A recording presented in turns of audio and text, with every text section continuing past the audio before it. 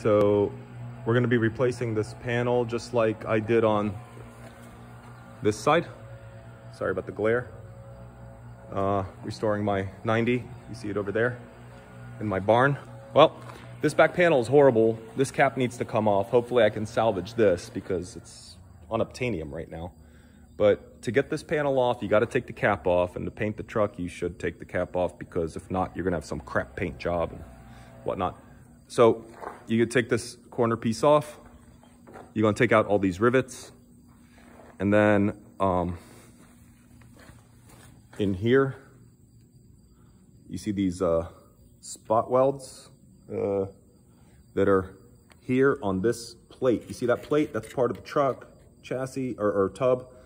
This is part of this panel, so that's gonna be changed.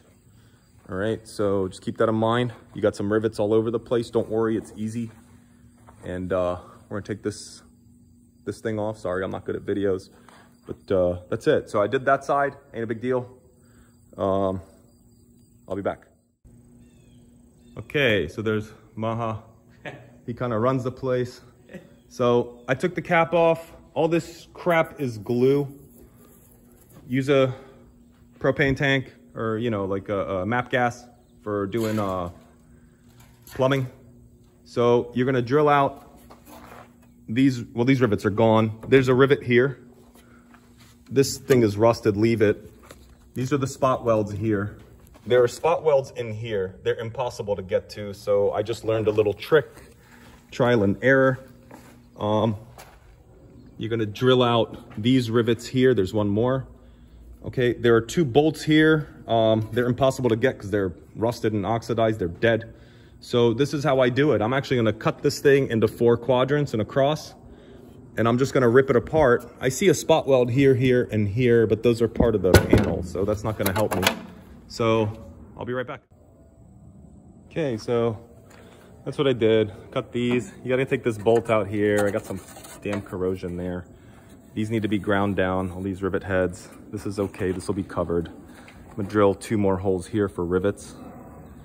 Um, this is fine, that'll be bent back. And that's it, and what you wanna do here is uh, brush this out with a wire wheel and then hit it with a self-etch primer. And let's go ahead and put this panel in. And that's basically it. I hope this all matches. I hope. It seems to be a little bit more inset than the original.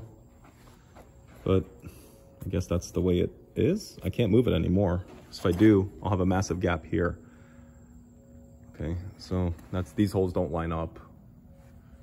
And um, but this all lines up. This lines up beautifully here. Okay, so that's it. I put my holes here. One, two, three for now. I put four here for now. Um, look, these holes are not gonna line up. There's just no way. The panel seems to be right because the gap here looks good. Um, it better be good because over here it's good and the top is good. And uh, before I put the rivets in, I'm gonna self-etching right in the back. If you notice what I'm doing here. And let's get the rivets in. So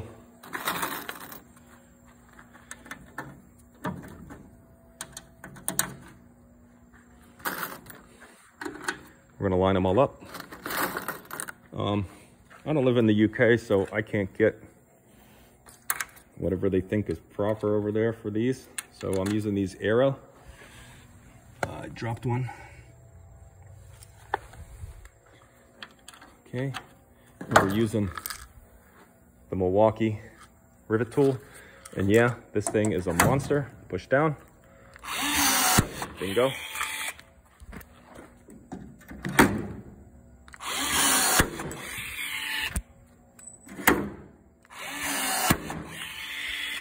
if I was smart, I would have scuffed this area first. So when it comes to paint, or at least laying down my epoxy.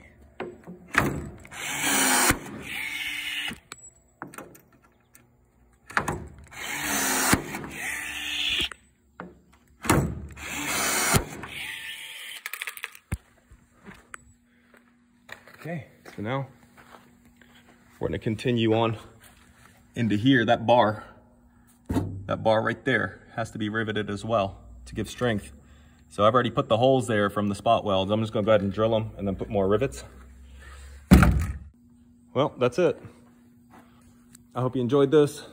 This this stays loose until we put that corner cap on. Um, and that'll that'll bring that all together. And uh, here, the reason I was saying it lines up because you see here, it's all it's all good up here, and up here it's the same. But that's really it. I'm not doing anything here because that cap is going to cover everything for me. I hope because they're aftermarket also. But those are from YRM, so they should be dead solid. But those guys don't mess around. I'm a well, I'm not even gonna put one more rivet there because when I put that cap on, that'll do that. I need to put two here.